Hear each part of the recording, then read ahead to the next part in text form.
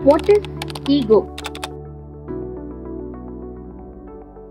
In spiritual terms, ego is the enemy of self realization. Ego is the enemy of liberation.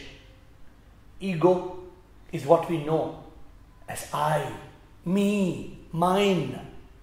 This is what the ego keeps saying. I want that. This is mine. Can you see me? That's me. Who is this me? The ego thinks we are this body. The ego thinks we are the mind. That's why it says, I am worried. Who is worried?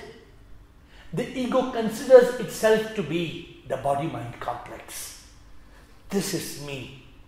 I am John. The name, which is just an identity, becomes me for the ego. When we are on the spiritual path, we learn let go of the ego. Go beyond the ego, transcend the ego. Then you will find God. The ego puts a veil between God and us, Rumi. He says that the ego causes the ignorance, the darkness, and we are not able to see the truth that we are nothing. We are a manifestation of the divine. I, me, mine, this is ignorance. It's an illusion.